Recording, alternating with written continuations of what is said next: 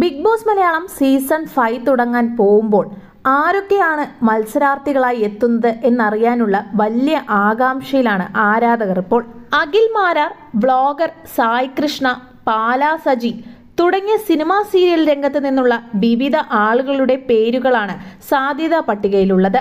അതേസമയം സാധ്യതാ പട്ടികയിൽ ഇടം പിടിച്ച താരമായിരുന്നു ഉമാ നായർ. ഇതോടെ അടുപ്പക്കാരിൽ ചിലർ താരത്തെ വിളിച്ചു പോലും ഇതേക്കുറിച്ച് അന്വേഷിക്കാൻ തുടങ്ങിയതോടെയാണ് താൻ ബിഗ് ബോസിലേക്ക് പോകുന്നുണ്ടോ ഇല്ലയോ എന്ന കാര്യം വ്യക്തമാക്കി ഉമാ നായർ തന്നെ മുന്നോട്ട് വന്നിരിക്കുന്നത്. പ്രവചന ലിസ്റ്റുകളിൽ എന്റെ പേര് കാണുമ്പോൾ ഞാൻ ആശ്ചര്യപ്പെടുന്നു.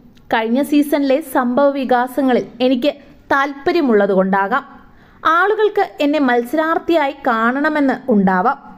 നേരത്തെ രണ്ടാം സീസണിൽ എനിക്കൊരു കോൾ ലഭിച്ചു. പക്ഷേ ആ ഓഫർ ഞാൻ നിരസിച്ചു. എന്നാൽ ഈ സീസണിൽ എനിക്ക് ബിഗ് ബോസ് ടീമിൽ നിന്നും ഒരു കോളും ലഭിച്ചിട്ടില്ല എന്നായിരുന്നു ഉമാ നായർ പറഞ്ഞത്.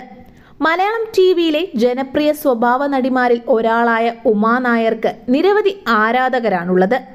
വാനമ്പാടിയിലെ നിർമ്മല എന്ന കഥാപാത്രത്തിലൂടെയാണ് അവർ ശ്രദ്ധേയായത്. അതുകൊണ്ട് തന്നെ ഒരുപാട് സീരിയൽ തിരക്കുകളിലാണ് താരം ഇപ്പോൾ. എന്നിരുന്നാൽ പോലും ഒരു വൈൽഡ് കാർഡ് എൻട്രിയിലെങ്കിലും പ്രതീക്ഷിക്കാം എന്നാണ് ഇപ്പോഴത്തെ വിവരം. കൂടുതൽ വാർത്തകൾ അറിയാൻ ഈ ചാനൽ മറക്കാതെ സബ്സ്ക്രൈബ് ചെയ്ത് മറക്കാതെ ബെല്ലൈക്കണും പ്രസ് ചെയ്യുക.